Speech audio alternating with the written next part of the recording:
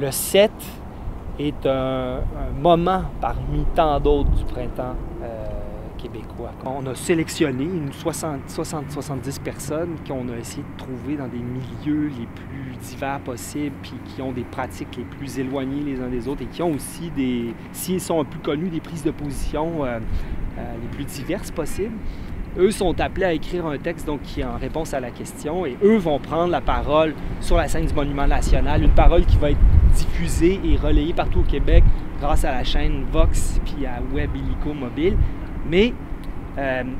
parallèlement à ça, au café du Monument national, on a une agora, donc euh, avec des stations euh, informatiques où les gens qui sont sur place peuvent livrer leur message en réponse à la question, encore une fois. Mais même de partout au Québec, via le web, encore une fois, les gens sont invités à participer à l'échange qu'on essaie de, mettre en place. La question, encore une fois, c'est est-ce qu'il est, possible de, de, rendre visible, opérante la liberté qui nous caractérise et qui nous échappe en même temps? Est-ce qu'il est possible de la révéler? Je pense qu'il y a une pauvreté de propos au Québec et euh, c'est aussi ça qu'on essaie de confronter avec l'événement qu'on organise, c'est-à-dire est-ce qu'il n'y a pas des moments où justement la parole devient vraiment beaucoup plus signifiante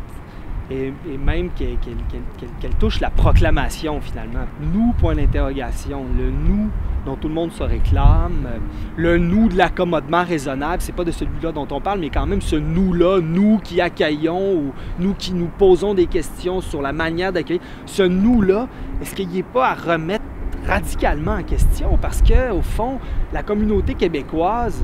qui euh, est sans constitution depuis 30 ans cette année, euh, cette communauté-là qui est à l'écart d'un pacte, c'est ça, constitutionnel, à l'écart d'une vraie entente démocratique. C'est comme si les, députés entraient à l'Assemblée nationale, donc démocratiquement, puisqu'ils sont élus par le peuple. Mais dès lors, qu'ils sont à l'Assemblée nationale, ils s'éloignent de la volonté du peuple il y, a une, confrontation qu'il va falloir qu'il y ait au Québec, puis peut-être que les conditions sont en train d'être réunies pour que ça ait lieu. Les étudiants sont, ceux qui ont mis le feu aux poudres, puis sont en train de le mettre, puis ça, c'est formidable. C'est comme ça que ça s'est passé ailleurs dans le monde, de toute façon. Mais je souhaite, moi, vraiment que ce soit l'occasion d'une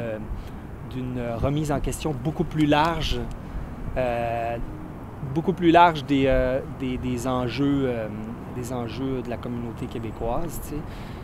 fond, euh, l'occasion qu'on a en ce moment, c'est justement de sortir de nos seules revendications euh, euh, particulières, d'aller au-delà de nos, de nos demandes, puis d'essayer de, dans une vraie solidarité nationale, essayer de voir s'il n'y a, pas, a pas un discours commun qui peut se dégager de ça. Que ce soit finalement une vraie conversation nationale qui ait lieu le, 7 avril. Et je pense que c'est le rôle des citoyens responsables puis des, hommes et des femmes de notre âge, puis euh, de, vraiment, urgemment soulever cette question-là, puis de, confronter, de nous confronter à, cet aspect-là essentiel du vivre ensemble. Au-delà de nos préoccupations particulières, on essaie le 7, puis on essaie tout ce printemps-là de faire en sorte qu'il y ait une, vraie solidarité qui euh, voit le jour au Québec.